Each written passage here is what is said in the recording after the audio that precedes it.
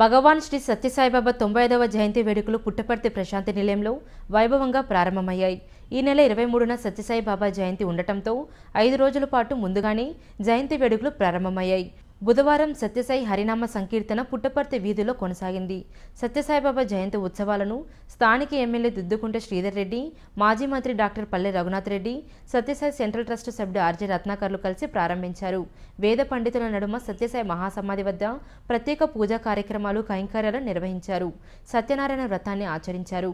సత్యసాయి జయంతి వేడుకల్లో పాల్గొనేందుకు దేశ విదేశాల నుంచి భక్తులు తరలివచ్చారు. కోవిడ్ను దృష్టిలో ఉంచుకొని భక్తులకు దర్శన ఏర్పాట్లు చేపట్టారు. ఈ సందర్భంగా పుట్టపర్తి ప్రశాంతి నిలయంతో పాటు మహాసమాధిని సర్వాంగ సుందరంగా అలంకరించారు. సప్తవర్ణ శోభిత పుష్పాలతో మహాసమాధిని అలంకరించారు.